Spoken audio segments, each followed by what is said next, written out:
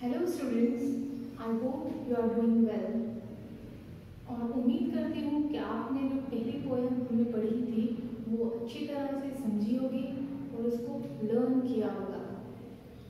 So we are moving toward our second lesson day dreams सुबह के ख्वाब once APJ Abdul Kalam said, Dreams is not the things you see in sleep, but is that things that doesn't let you sleep. यानी ख्वाब वो नहीं होते जो आप नींद में देखे ख्वाब वो होते हैं जो आपको सोने नहीं देते है ना जो ख्वाब हम देखते हैं या आप देखते हैं जैसे आप देखते हैं कि मुझे बड़े बड़ा होकर पायलट बनना है इंजीनियर बनना है डॉक्टर बनना है। या फिर आप देखते हैं कि किसी आईपीएस ऑफिसर को देख, देखते हैं तो सोचते हैं कि मुझे इस जैसा कुछ बनना है। तो ये जो सारी चीज़ें होती है, ये डे ड्रीम्स कहलाती है। तो इसको पूरा करने के लिए आपको मेहनत की ज़रूरत होती है, बहुत हार्डवर्क की ज़रूरत होती है। तभी जाकर आपके डे ड्रीम्स पूरे होते हैं। ठीक है?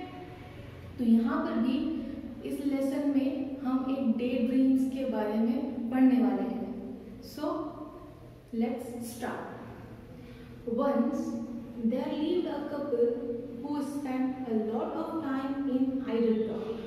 यानी कि एक मतलब की बात है कि एक कपल होते हैं, एक हस्बैंड वाइफ होते हैं, वो उनका ज़्यादातर वक्त आइडल यूजलेस यानी कि बेफजूल की बातों में अपना सर्व करते थे वक्त बर्बाद किया करते थे one day the husband say I have always wanted to keep cows if by chance I get some extra money from somewhere I am going to buy a few cows एक मतलब एक बात है कि फिर वो हस्बैंड क्या कहता है? कि मेरी ख्वाहिश थी कि हमारे पास क्या हो? काउस हो। काउस हो। बहुत सारे गाय हो। और कभी और अगर कहीं मेरे पास कहीं से पैसे आते हैं, कहीं से ज़्यादा पैसे आते हैं तो मैं क्या करूँगा? कुछ काउस खरीदूँगा। ठीक है? But that means a lot of work you have to feed the cows walk them bath them milk them cows need a lot of looking after. One, cow would be enough. There is no need to buy more cow save the wife लेकिन wife ने क्या कहा? कि अगर आप इतने सारे cows लाने की बात कर रहे हो, अगर ला होंगे तो आपको क्या पता है कि उनको कितने केयर करना पड़ती है, उनकी, उनको खाना खिलाना पड़ता है, उनको नहलाना पड़ता है, उनका दूध निकालना पड़ता है, उनकी बहुत केयर करना पड़ती है। और क्या कहने लगी कि सिर्फ़ एक काउ यानी कि एक गाय ही हमारे लिए काफ़ी है। किसने कहा ये? वाइफ ने। But think of all the milk we will get if we buy more, said the husband. तो हस्बैंड ने इसका रिप्लाई क्या दिया? कि लेकिन ये सोचो कि जब हमारे पास बहुत ज़्यादा काउस रहेंगी तो दूध कितना आएगा? ज़ाहिर बात है जब काउस ज़्यादा रहेंगी तो दूध भी ज़्यादा आएगा है ना? तो ये जो थिंकिंग थी हस्बैंड की थी।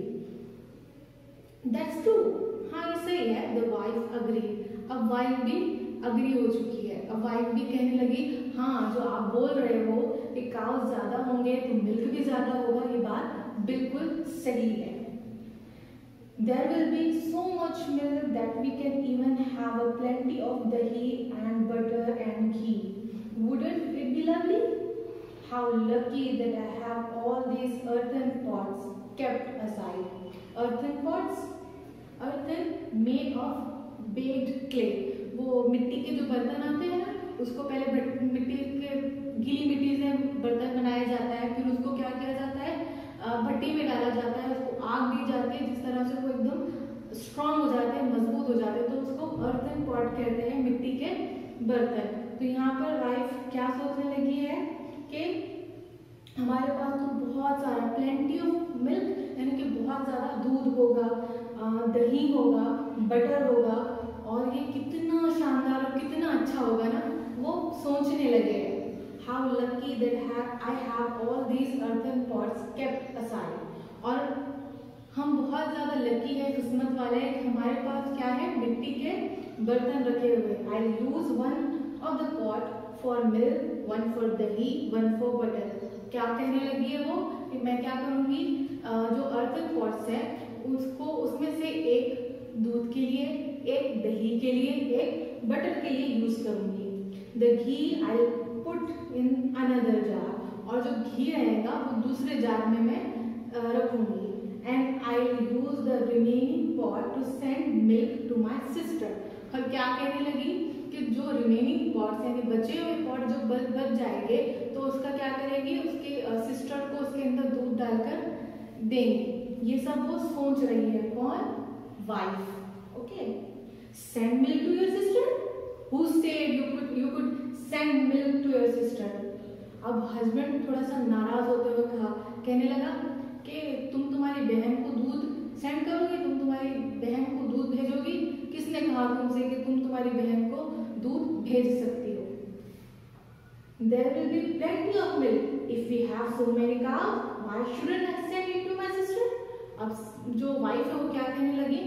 कि there will be plenty of milk यानी कि हमारे पास तो बहुत ज़्यादा दूध होगा।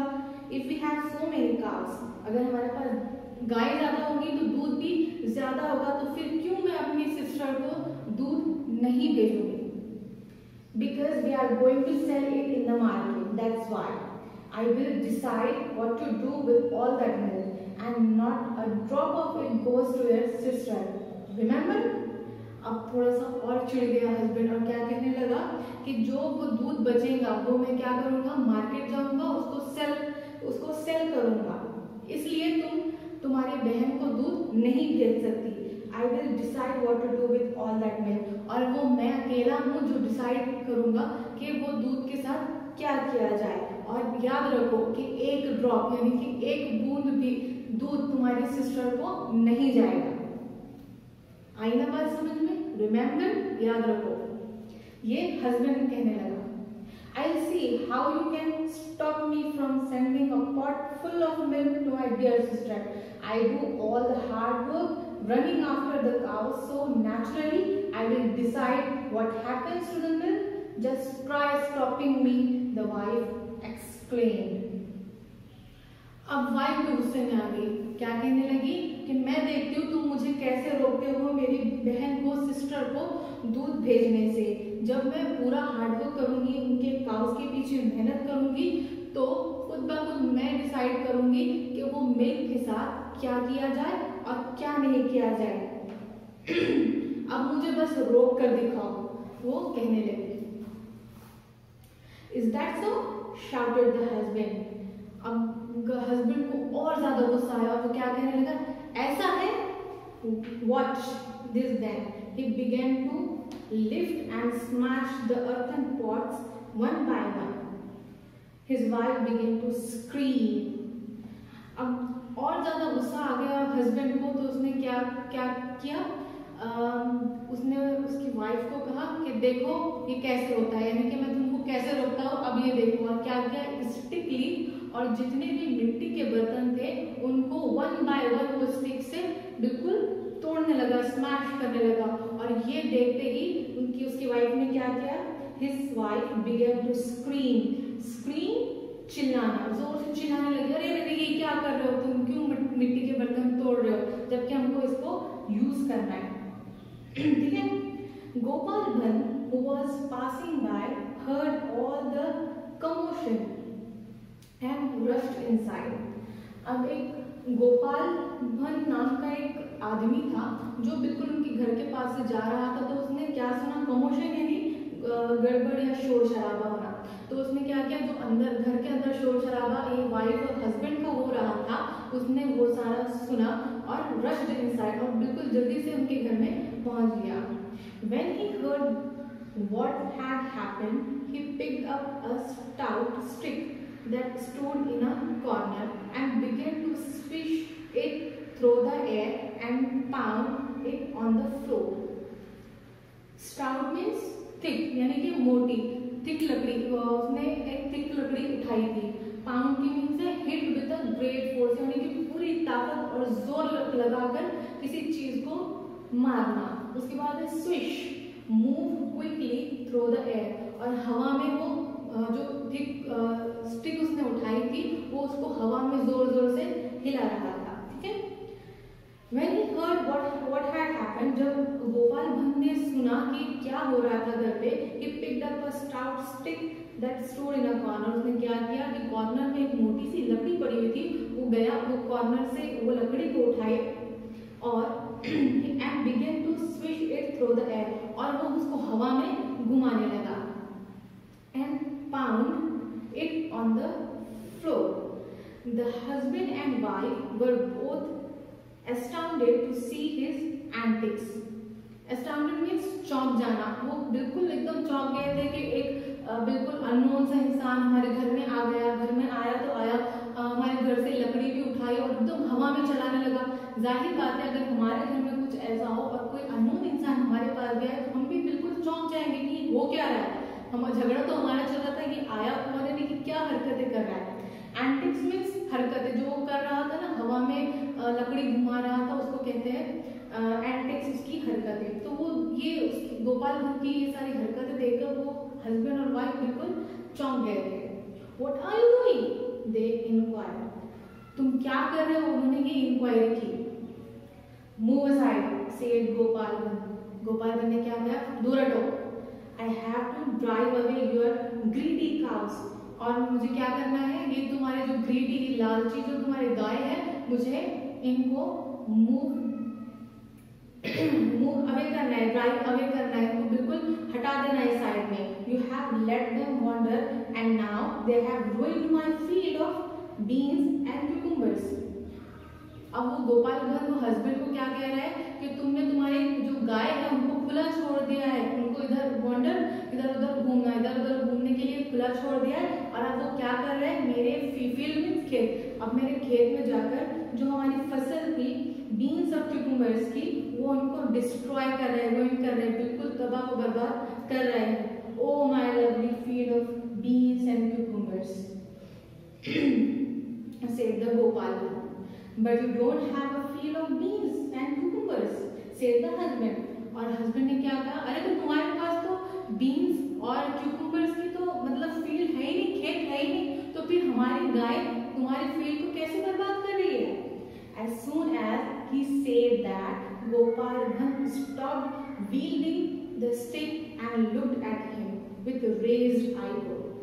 Wielding using something. वो स्टिक जो यूज़ कर रहा था ना हवा में वो क्या किया as soon as he said that जैसे ही हस्बैंड ने ये कहा कि तुम्हारे पास तो फ़ील्ड है ही नहीं तुम्हारे पास तो खेत है ही नहीं गोपाल भट्ट ने जो लकड़ी घुमा रहा था उसको बंद कर दिया घुमाना और क्या करने लगा वो हस्बैंड और वाइफ को बिल्कुल अपनी आईब्रोज ऊपर कर कर आँख चढ़ाकर देखने लगा। The husband and wife understood what he was trying to tell them अब जो थे हस्बैंड और वाइफ बिल्कुल अच्छी तरह से समझ चुके थे कि चल क्या रहा है और जो गोपाल भन है, वो हमसे क्या कहना चाह रहा है। Can you tell what he wanted to say अब जो यहाँ पर पूछ रहे आपसे आप व्यूअर से, आप स्टूडेंट से कि क्या आप बता सकते हैं कि गोपाल भवन एक्चुअल में क्या कहना चाह रहा था? बता सकते हो? Okay I will tell Gopal Bhavan wanted to tell them that they should not argue over the things which they do not even have. Yes, this is the moral of the story के गोपाल भंड ये कहना चाह रहा था कि जब हमारे पास कोई चीज़ होती ही नहीं है है ही नहीं तो हमें उस चीज़ पर बेफजूल का आर्ग्यू फाइट नहीं करना चाहिए। So this was the moral of the story hope you you you have understood it very well okay thank you so हमको इस लेसन से एक मैसेज मिलता है कि जब हम हमारे ख्वाब देखें तो उस ख्वाब पर हम किसी से आर्ग्यू फाइट बहस, फालतू की बातें नहीं करें। रादर देन दैट हमको उसके ऊपर पूरी तरह से मेहनत करनी है ताकि वो जो हमारा डे ड्रीम है, वो हमारा एक्चुअल प्रेजेंट बन जाए। है ना?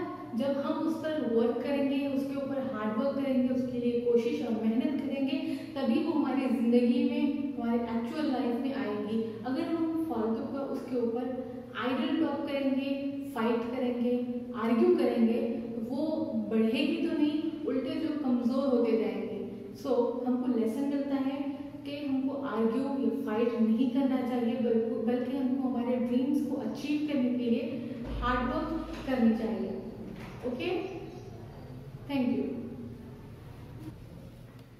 now I am going to ask you some questions on the basis of the chapter और lesson which we have recently read are you ready Let's get started. My first question is What did the husband want to buy? Husband क्या खरीदना चाहता था Answer is the husband wanted to buy few cows. Husband कुछ गाय खरीदना चाहता था Okay. Second question is what plans did the wife make? यानी कि जब वाइफ ने जब हस्बैंड ये कहा कि हम कुछ काउस खरीदेंगे तो फिर उसके बाद वाइफ ने क्या प्लानिंग शुरू की the answer is the wife plan to make plenty of dahi and ghee she she would use one pot for milk, one for dahi, and one for butter. She would put the ghee in another jar. She would use the remaining pot to send milk to her sister. So these were the planning of a wife. Got it? Now, third question is, what did the husband want to do with the extra milk यानी कि जो extra milk बच जाएगा तो husband उस milk के ज़रिए क्या करना चाहता था? उस मिल्क का क्या करना चाहता था? Answer is the husband wanted to sell the extra milk in the market क्या करना चाहता था हस्बैंड वो जो मिल्क बच जाएगा तो उसको मार्केट में जाकर, बाज़ार में जाकर उसको बेचना चाहता था। Okay here we are having one grammatical question right the plural forms of the following nouns यानी कि कुछ नाउंस दिए हैं, आपको उनके प्लूरल्स बनाने यानी कि वो सिंगुलर है और उनको प्लूरल्स बनाने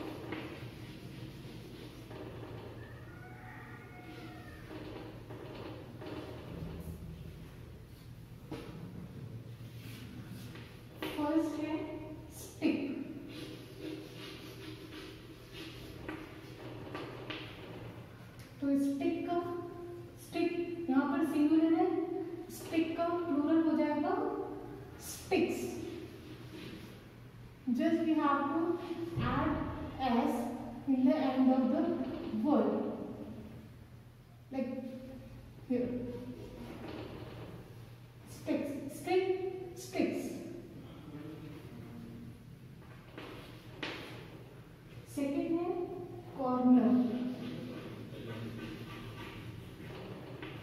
यहाँ पर भी कॉर्नर सिंगुलर है, उसका प्लूरल कैसे करेंगे? यहाँ पर भी सिर्फ़ हमको लास्ट वर्ड के लास्ट में एस ऐड करना है हो जाएगा और nurse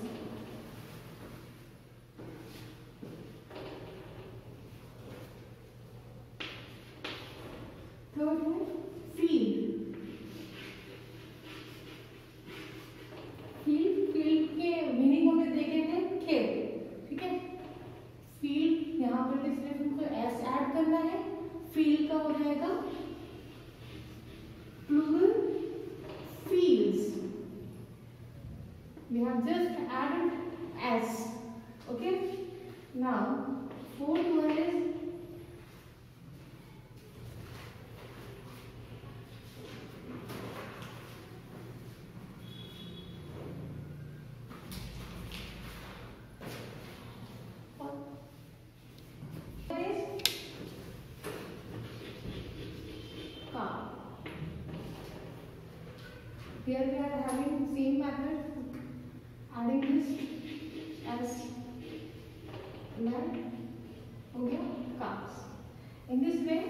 we have uh, these are the singulars and these are the plural form of the singulars